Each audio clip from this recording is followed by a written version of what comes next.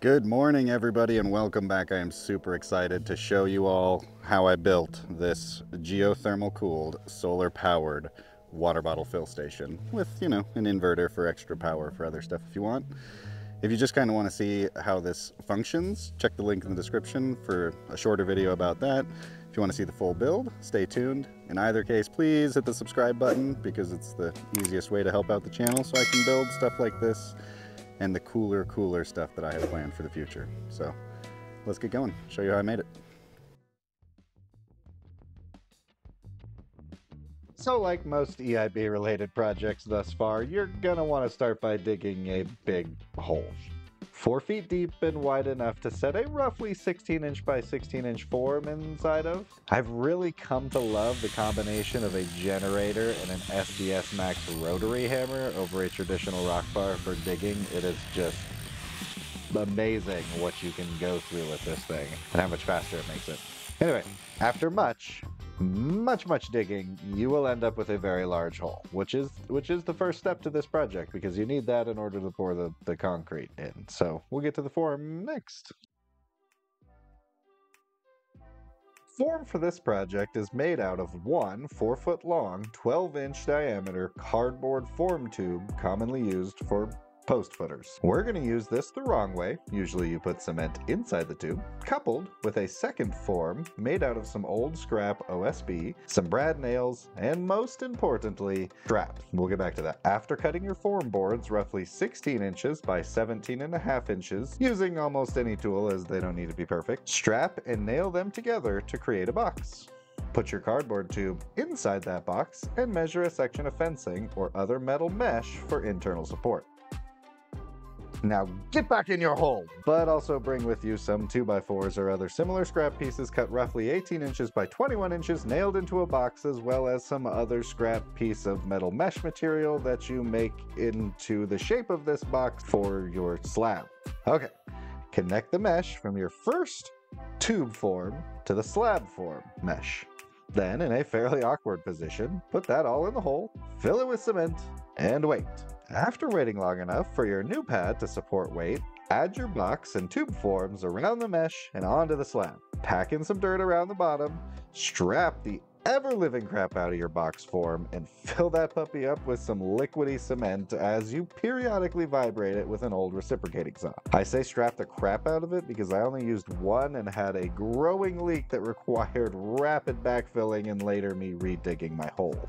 Also, Add about a foot or so of packed dirt to the bottom of your cardboard tube on top of your cement slab or something else because the liquidy cement and the pressure makes that tube want to pinch and collapse at the bottom. So again, rapid backfilling saved me, but know this ahead of time. Anyway, that's it.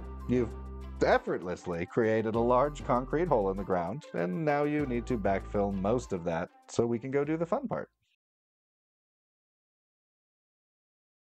Create the pole that everything mounts on and routes through, I first started by designing and 3D printing a 45 degree cope cutting guide for the end of a 1 and 5 8 inch line pole.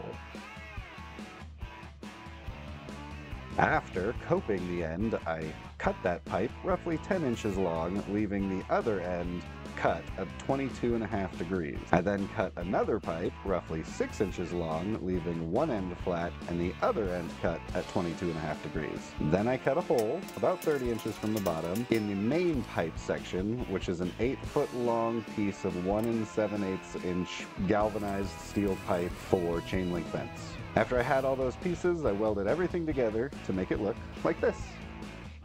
After this point, I knew which direction my faucet would be facing, so I went ahead and welded on a bracket for the electronics box, cut a hole, and welded on a shortened male threaded section of a 1-inch metal conduit for the connection to the pump box from the main pole, and I cut a hole for the pump wire routing. Then I ground down all of the crappy flux core welds I did directly on this thin walled galvanized pipe to make everything look good. Lastly, I pulled some rope through each of the portions that I needed to route the pump electronics and to route the water plumbing to the faucet.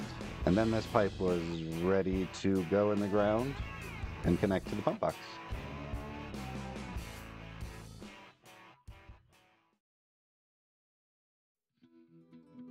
After scrapping multiple variations of my original plan as a direct result of not drawing the entire assembly in CAD, I fixed the first waterproof electronics box with my soldering iron once I realized the water pump would just barely fit in it. And then I bought a second box to use for the electronics as originally planned. The electronics consist of a small inverter intended for use in a vehicle, a set that included a solar panel and charge controller, then a battery, a light, and some toggle switches. I first assigned a mount for the inverter and battery to offset the battery in order to add the toggle switches to the bottom of the box, and to position and secure the inverter to stick through the side of the box into a waterproof outlet housing. Then I cut the box for the inverter and modified the outlet housing as well. Then I riveted the outlet housing to the side of the main box with its gasket in place and some caulk for extra water protection.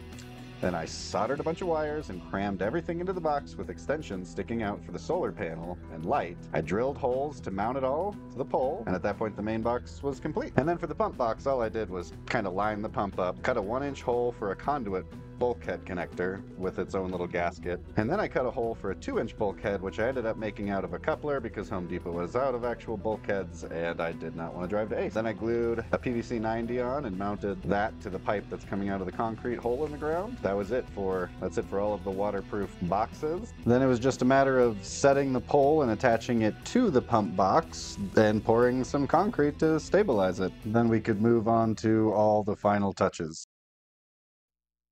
So before we could actually get to all of the final touches, we had to address the faucet and the pump because these two steps both presented unique challenges.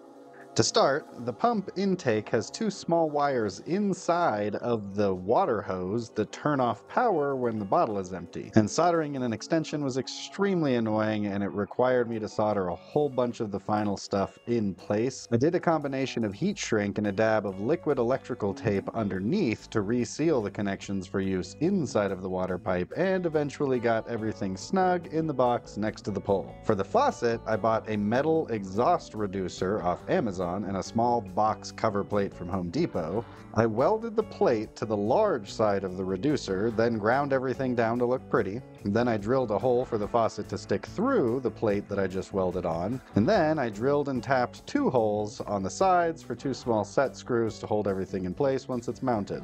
After painting the new mount, I installed the faucet and made all the final plumbing connections and put that onto the assembly and in its place. A number of other tasks had to take place for this to come together. First, I had to vacuum all the dirt out of the hole from the main pour. Then, I had to build a nice little bracket for the solar panel that I'm quite proud of and mount that. Then, I had to mount the light, solder and seal all the final connections, and build a lid for the hole with a rope attached to the jug. Now, we have a wonderful water station in the garden that rivals even my shop kitchenette with drinking fountain, link in the description. Here it is, the completed build that you've probably already seen, able to fill a water bottle or human mouth quickly with water cool relative to the surrounding air temperature. Also capable of charging your phone, running an intercom, or any of your other low amperage needs. Was it worth the effort? Only if you subscribe. no, it's pretty awesome. So yeah, it was worth the effort anyway. And that's it. Stay tuned, and I'll see you in the next one.